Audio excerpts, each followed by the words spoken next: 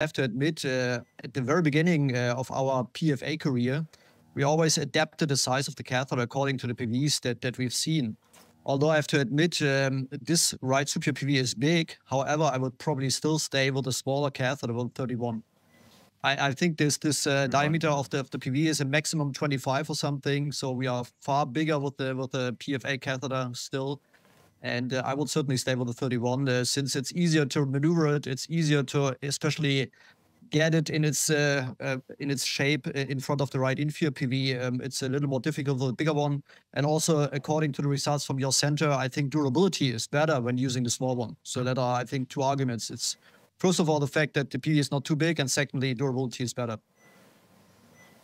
Very strong. Yeah, argument. hi, here's Yeah, it's a, it's a fair point. here's Ari from from Cologne. Thanks for having us, and, and congrats to the great case. I couldn't agree more with Andreas. I think uh, the risk of you know um, touching the rest of the left atrium and causing some uh, additional lines that you don't want to do. If you look at your data, you have shown us nicely the the rate of consecutive atrial tachycardia arising from isthmuses that we might create bigger devices. I would also go for the smaller one. And we're talking about three veins that are more or less normal, uh, as opposed to only one vein, which is a bit bigger.